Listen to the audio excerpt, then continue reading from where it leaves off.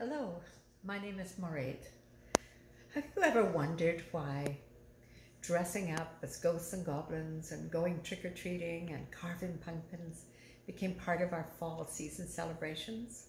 I'd like to tell you the origins of Halloween, which started in Ireland many, many thousands of years ago. Halloween started as Samhain. Samhain was the ending of the old year and the beginning of the new year for the people who were known as Celts who lived in Ireland and England and Scotland. It was a changing of the season from harvest to winter time. Day started at sundown, night preceded the light, and together they formed a single unit of time. Our current version of Halloween came to North America from the Irish who fled the potato famine in the 1840s. Our way of celebrating Halloween by dressing up as ghosts and goblins and trick-or-treating can all be traced back to the old customs and folklores that they brought along with them. All Hallows or All Saints Day has been a very solemn feast day for the past two millennium as a celebration, remembrance and veneration of all the Christian saints. In fact, the church chose November the 1st as the date of All Hallows because it's already strongly associated with the dead.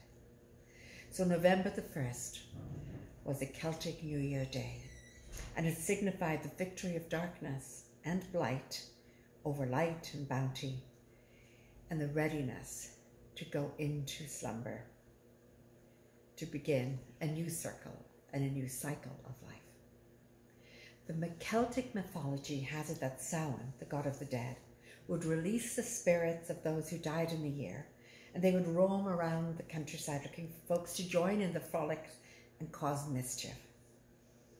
Irish people carved turnips and dressed up as ghosts and goblins to play tricks and have fun on this night. As the old Christian season of All Hallows took hold in this country, the festival never died.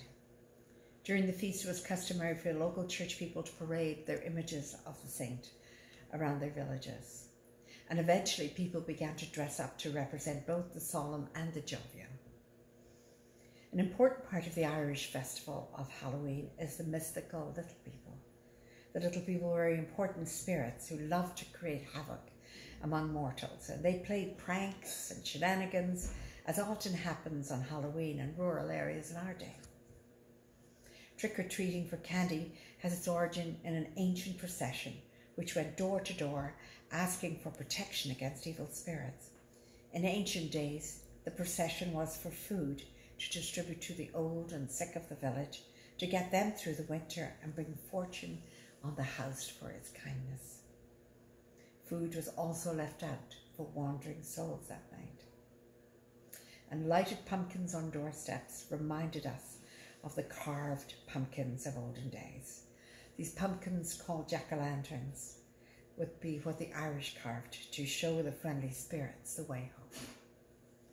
Halloween was a time to eat special food, a special soul cake called barmbrack, a simple cake that had tokens in it which would tell the fortunes of the people in the house, a ring for a happy marriage, coins for money in the future.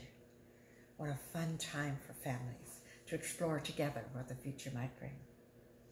Fun games of chance and dancing and music held the joy in the season of transition and to prepare for the bleak days ahead.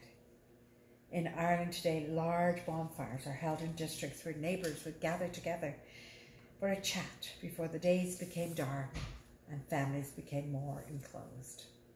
And the bonfires harked back to the ancient Celts that drove the young animals through the fire of the bones to build their immunity to all the illnesses that were about to come in the winter. So Halloween, ancient roots and present fun, a time for games and celebration, a time to relax and enjoy dressing up and meeting neighbours and friends, a time of encouragement to persevere as the darkness descends.